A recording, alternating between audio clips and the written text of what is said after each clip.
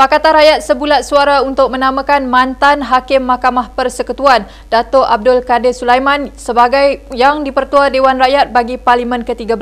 Menurut Ketua Umum Pakatan Rakyat Datuk Seri Anwar Ibrahim, Pakatan Rakyat bertegas pemilihan yang dipertua Dewan Rakyat mesti dilantik dari kalangan seseorang yang bebas berkecuali tanpa parti, berwibawa dan berkelayakan untuk berkhidmat. Usul ini akan dibangkitkan oleh ahli parlimen Bandar Tun Razak Tazik Ali Ibrahim. Bagi membantu Yang di-Pertua Dewan Rakyat, Ahli Parlimen Tumpat Datuk Kamarudin Jaafar dicalonkan sebagai timbalan Yang di-Pertua Dewan Rakyat. Jelas Anwar, timbalan Yang di-Pertua ini hendaklah dipilih dari kalangan Ahli Parlimen Barisan Nasional dan seorang lagi daripada Pakatan Rakyat. Ini adalah satu gambaran bagaimana kita dalam uh, Pakatan Rakyat uh, mahu memulihkan imej dan prestasi Parlimen supaya tidak menjadi suatu uh, gelanggang yang boleh hanya memihak kepada satu uh, pandangan